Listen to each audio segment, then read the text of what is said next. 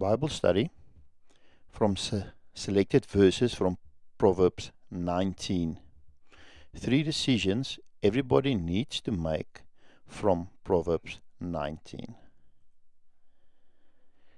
Decisions are important because decisions give direction in your life. If you look at every turning point you have ever experienced, looking back over your life, you will notice that that turning point was created by some sort of sort of decision that you have made. Some decisions give groundbreaking direction. Let's say, for instance, I'm traveling north, and then I decide to turn west. Whenever you decide to turn, turn west, uh, that is a major uh, decision in your life with a major change in your life. And you can equate that to the big decisions in life that has to do with what work do you do? Who do you choose for a partner? Where are you going to stay? Those decisions are influenced, are influencing the ultimate results in your life and will directly relate to your sense of happiness, your sense of fulfillment, and whether you are living your calling from God. Then decisions also help us to make certain adjustments. Let's say, for instance, I am on my way to Durban and then there's a crosswind blowing me from course. Then the autopilot constantly makes small adjustments in the sense where it will still meet its destination. And living is a lot like that. Once you've made the major decisions of what you want from life, how you want to live it, and where you are going, then you need to constantly make adjustments in order to achieve it. But this is the question. What is your guideline for making these adjustments? And then, before every first step, there is a mental process. And that mental process is a process of deciding. Sometimes it is a very conscious decision where you weigh the pros and cons. Other times it is more instinctively, I want to go that way, or I just want to do that, or that is the easier way, or that is the best option available to me. Proverbs 19 helps us make these type of decisions. The first decision from Proverbs 19, verse 1 I will choose to be better. Better the poor whose walk is blameless than a fool whose lips are perverse.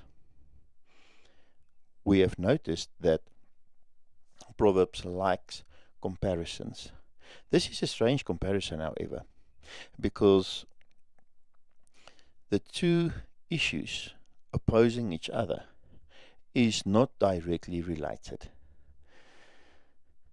You can be a person with integrity, or you can be a person whose lips are perverse. This is a comparison of character.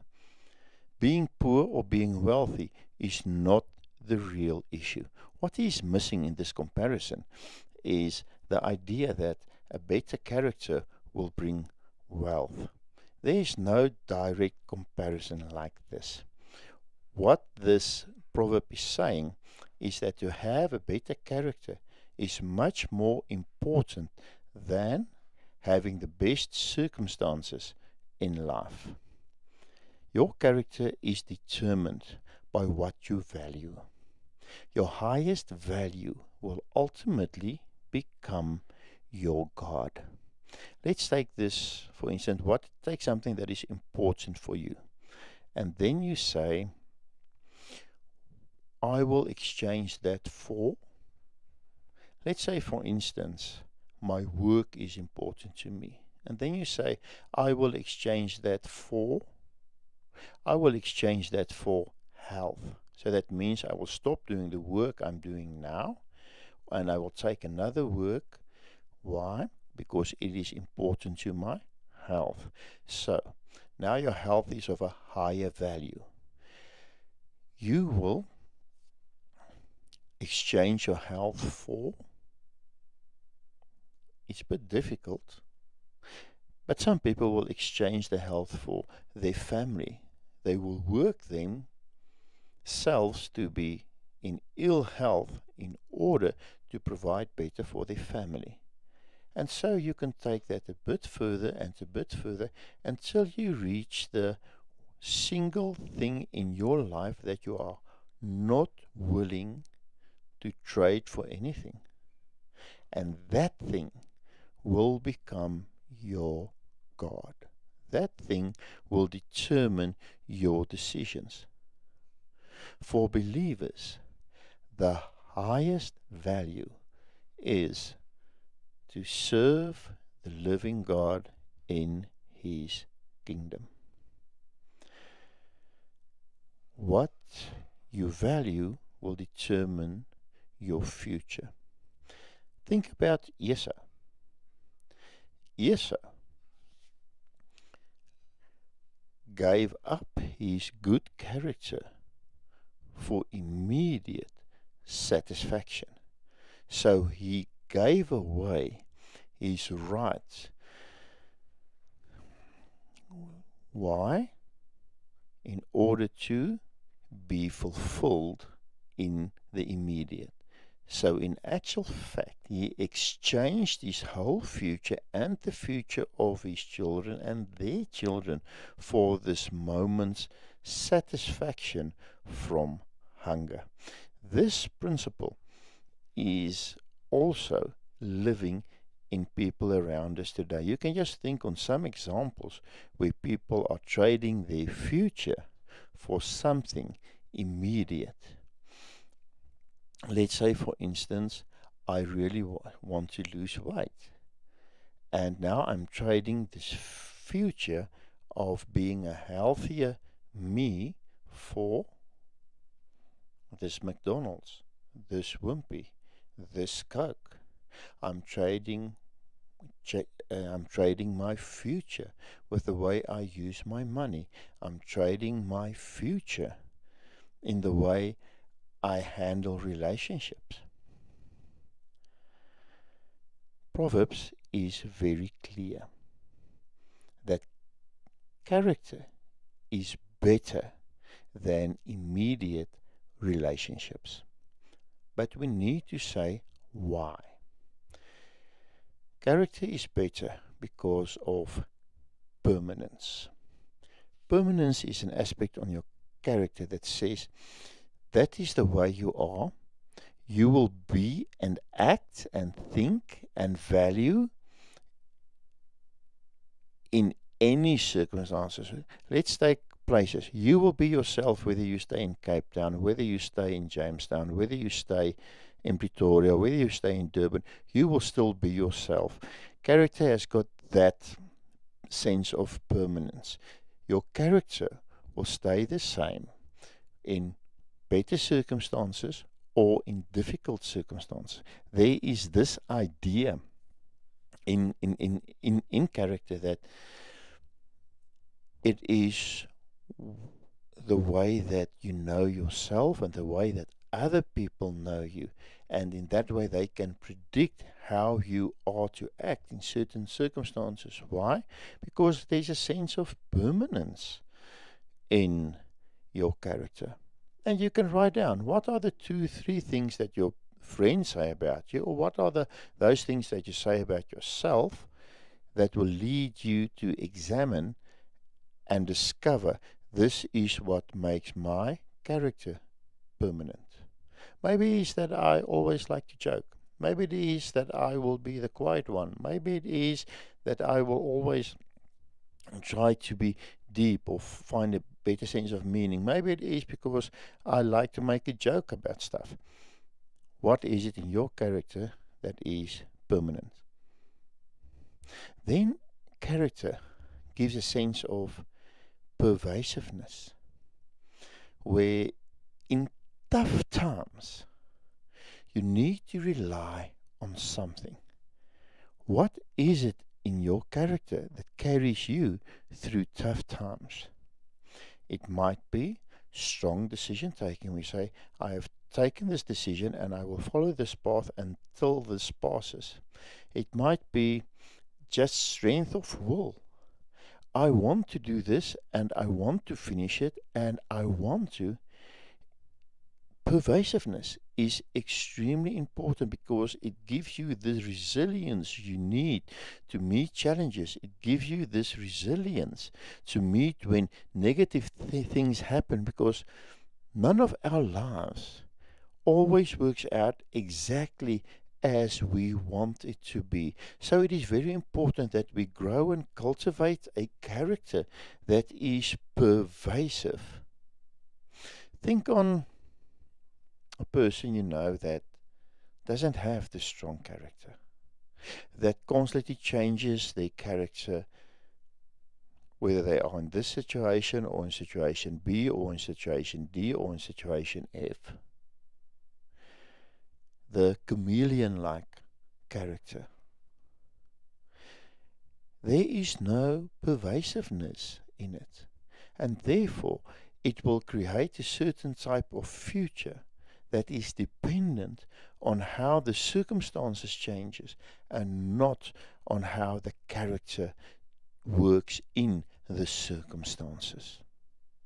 Always remember that from the beginning in Genesis 1, man was called to live with God's way within circumstances, in the good and the bad circumstances, to take care of and to guide and to influence the circumstances.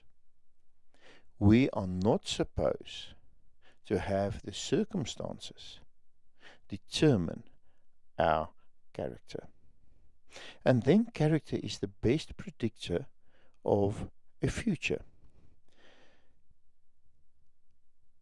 You can think in this way that what you have today is the result of the previous character you had because character governs the way you make decisions, governs the way that you respond to circumstances, and character is the one line that connects all the important dots, all the important events in your life. If you write your life down and say that's that was an important in grade 2 and that was important in grade 12 and that was important after school and that was important when I was young and that was important when I first got married and that was important and then you connect all those important events the line you are drawing will give you a picture of your character that will show you the permanence and the pervasiveness of your character, and that is the best predictor of the future that you will have. The way of the perverse tongue is an attitude where you try to manipulate reality by creating a false view of reality. In simple terms, it is the way people lie to themselves and the way people lie to the world. The first type of lie is straight out. It's not connected to any reality. It is just something I thought of. It is just some fantasy. It is just something I might want to believe or that I believe, but there's no evidence in reality for that belief. And don't be fooled. Every one of us do have these irrational beliefs that is not founded in reality of life or in the reality of Christ. Another way we like to bend reality is like those mirrors at the circuit, uh, those mirrors at the circus, where they make some elements smaller or they make other elements bigger. So we tend to make our own mistakes and our own faults in our own version of what happens, sometimes smaller. Why? We want to protect ourselves and we want to protect uh, ourselves from judgment or from shaming. In another sense, we would like to tell some other story where we would like to be the hero and make our own role in it much bigger than it actually was. Then, of course, there's a lie of silence. When you know you had to speak, but you are keeping silent,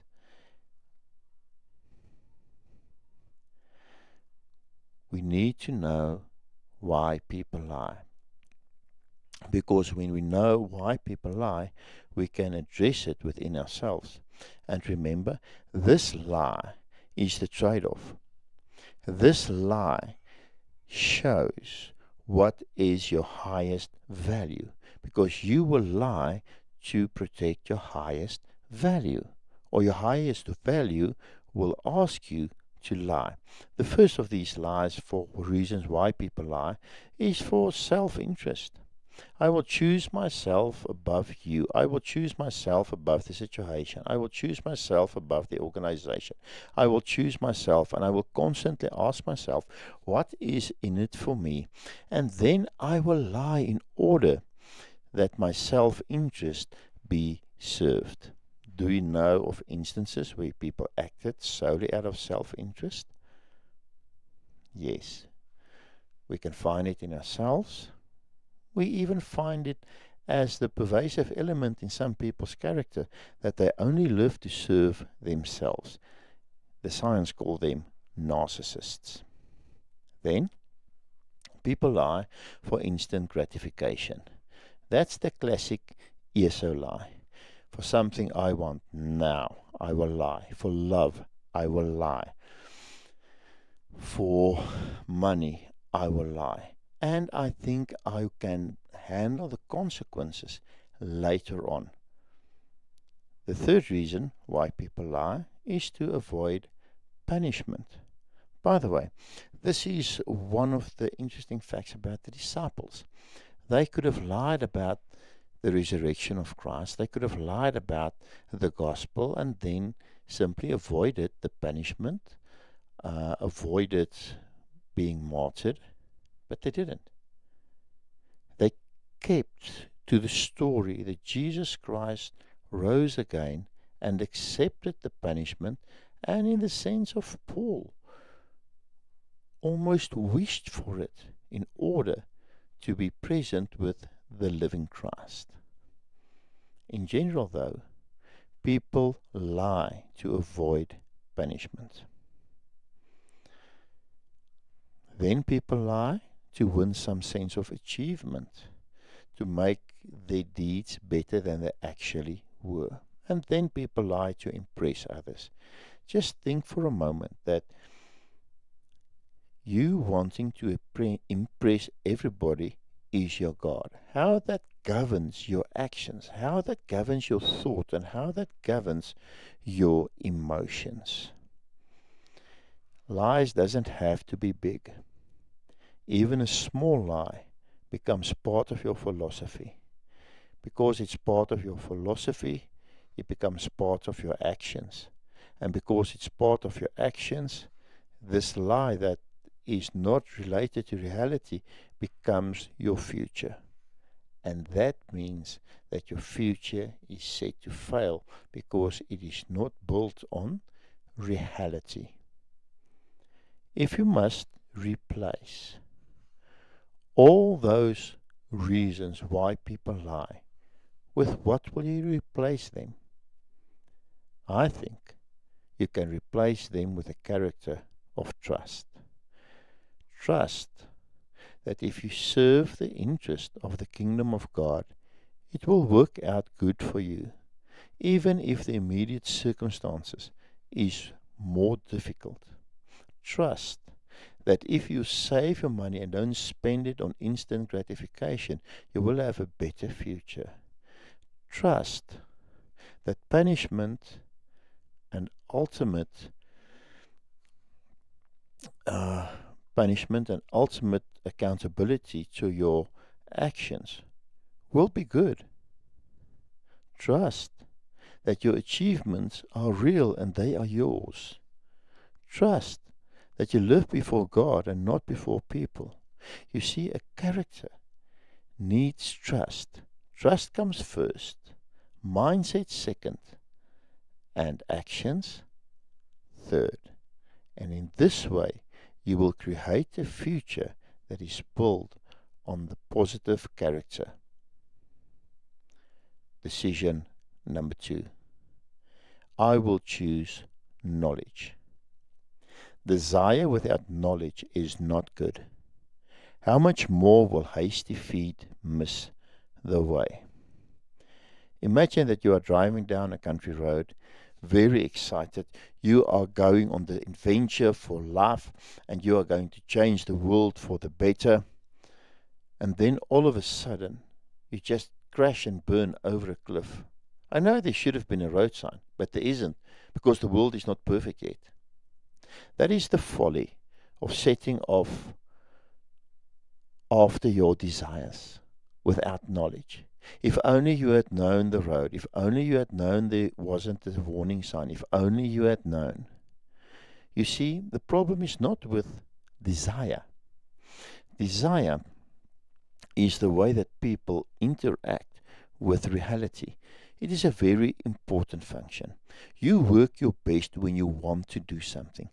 Let's experience two days and say, I have a day where I must wake up at six and then I must do this and then I must do this and then I must do this. You are using a different neurological system than when you wake up this morning at six o'clock and say, I want to wake up, then I want to do this, then I want to do that, then I want to do that. And when you work with desire, you use a bigger part of your brain, are more creative, more resourceful, and enjoy life much more with a deeper sense of satisfaction. And in this way, you are actually creating much more energy for the next day. You see, God knows the power of desire. That's why that is why it is part of the Ten Commandments. You need to desire what is good. The warning in the Ten Commandments of thou shalt not covet is a warning on the strength of desire because desire will always find a way. So if you desire what is wrong, if you desire what is sinful, if you desire what is not good for you or someone else, you will always find a way. But when you desire what it is good, when you desire what God wants, what happens? Then you are realizing the good of the commandments in your life. That is the key to living the commandments. Each one of them, when you desire to keep them, when you want to praise God and live in a relationship with God, when you want to serve God and call on His name, when you want to honor your parents, when you want to respect life, when you want to tell the truth, you see, when you want to do something, you will find a way to do it. Desire is not the problem, knowledge is. Desire without knowledge is extremely dangerous. We teach our young people that you must want something and that desire is enough for achievement. But that's not true. Let's take an example flying a plane. You really desire to fly a plane. Is that enough? Or do you need something more? Or do you need knowledge? Of course, you need knowledge. There are four types of knowledge that is important in framing your desire in such a way that it will be realized. The first type of knowledge, of course, is technical knowledge. Let's stick to the example of you desire to fly a plane there is technical skills involved. That is why you go on pilot's training. That is why there's first someone that is showing you, there is theory, then there is practical, then there is hours with an instructor, then there are your first solo flight, and then there are the building of confidence. In this way, you are learning the technical skills to fly the plane. But that's not all you need. You also need interpersonal skills. Let's say, for instance, that you want to fly the plane, but you want to do it all alone. Where are you going to get the plane from? Who's going to teach you? Who's going to give you the license? You see, for everything that you desire, everything you want to do, there is at least one other person that is either against you or one other person that is in your team. And either way, you need to relate to them in a manner that makes it possible to achieve your desires. For that, you need interpersonal skills. You need to learn to communicate. You need to learn to state what you want and to be positive about it. You need to learn to listen. You need to learn to handle conflict. You need to learn these interpersonal skills because they are creating a pathway for your desires. But then there's a third skill that you must have, and that's the intrapersonal skills. That is the way you conduct yourself. With your intrapersonal skills, you motivate yourself. With the interpersonal skills, it gives you a level of resilience. With your interpersonal skills, it gives you frustrations. With your interpersonal skills, it tells you how you manage yourself. Now, these skills function like a three legged chair, where the lowest level of the skill is the one that determines your potential. Let's say, for instance, that I have great interpersonal skills in flying a plane, but I don't have the technical skills to fly the plane. And I will each chat one of you and say, Come with me because I've got this ability because of my great interpersonal skills, but I haven't got the technical skills. It's a recipe for disaster. What I can do will be limited by my technical skills. Or you get these people that have great technical skills, but they have no interpersonal skills. So it's the greatest pilot ever, but you just can't get him to the airport on time. You just can't get him motivated. You just can't get him to do what he needs to do, and he will never get you at your destination on time. Or you've got this great, highly motivated technical pilot with no interpersonal skills. He acts like a complete scoundrel. He's vain. He swears at you. You don't want to fly with that person. So he's going to fly and he's going to fly all by himself.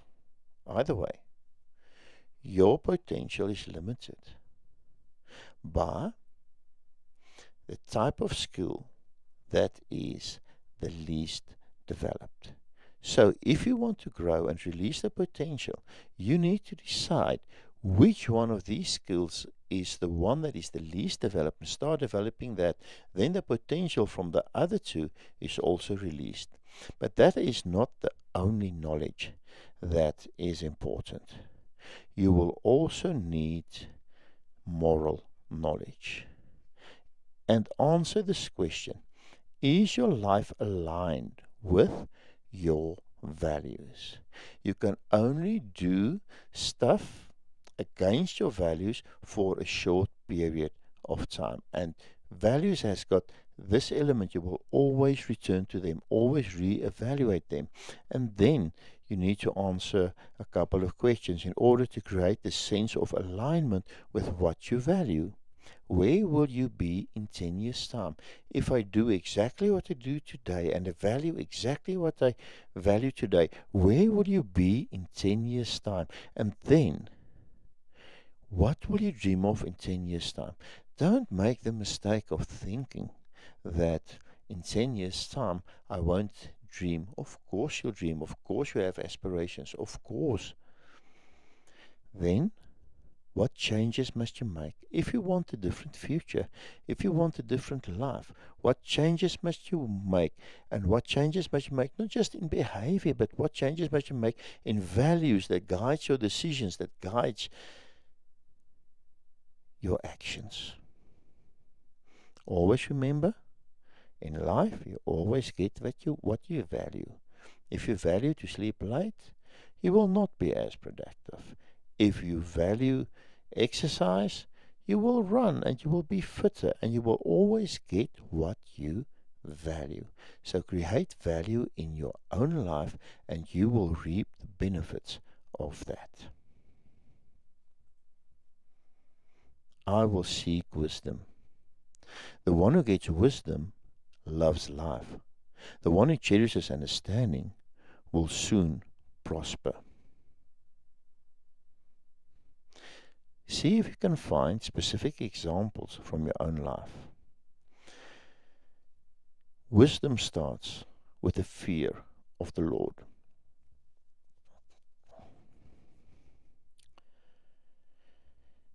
Calamity strikes when people lose their fear of the Lord. Think in the days of Noah, when he warned them, when he preached, how they laughed and how they turned away from him, and ultimately they were the ones destroyed. Think on Sarah. When she first heard that she will fall pregnant now, she stood behind the door and she laughed. Think on the reaction the, the, the prophets got when they proclaimed the kingdom of God, when they proclaimed the will of God, and then people lost their reverence, and then they acted against the prophets. Think on the reaction to Jesus when he proclaimed the kingdom of God, when he preached the kingdom of God. Think on the reaction when people lose their reverence for God, then it is always a calamity. So wisdom starts with the fear of the God, and that means that is not something theoretical. That is the main line to mm-hmm. which you make adjustments from what you value, what you decide, how you think, and how you act. If you don't create this sense of alignment with the fear of God and doing the will of God, what do you think will become of your life? And this is what sin does. Sin is like forming calluses on your heart where you can't feel the love of God. You can't feel the will of God, and therefore you can't act on it. And then calamity is a necessary ending. Wisdom is also found in community. Never make the mistake of thinking that wisdom is achieved on your own. Wisdom has got this factor that it is knowledge that is lived, it is knowledge that is experienced, and it is experienced amongst people. Therefore, the journey on wisdom is a journey with fellow believers where one can be challenged with your blind spots, where one can be challenged with that part of your character that you don't see and that is not so good, where someone that you love within your community can say, Listen, you need to make certain adjustments, otherwise, you are going to miss. And this is something about ourselves. We always think that we know ourselves, but we don't.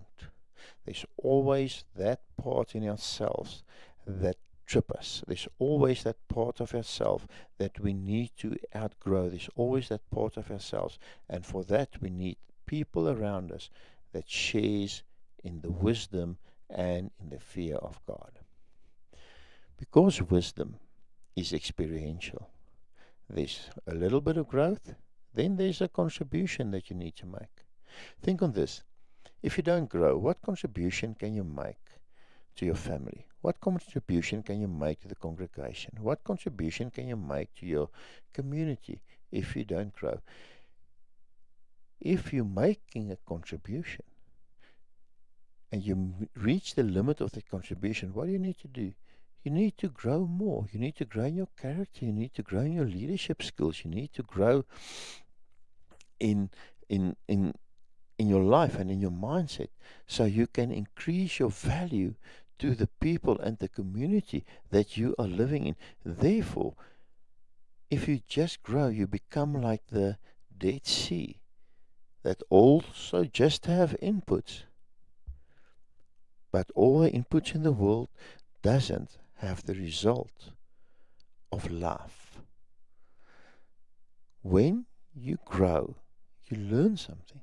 You need to make the contribution somewhere so that life may start. That is why it's this principle of the Dead Sea. If all growth stops with you, you will ultimately, it will ultimately just bring death. But if you pass it on, then you will find life. That is why we are called to make disciples because the gospel is not supposed to stop with you.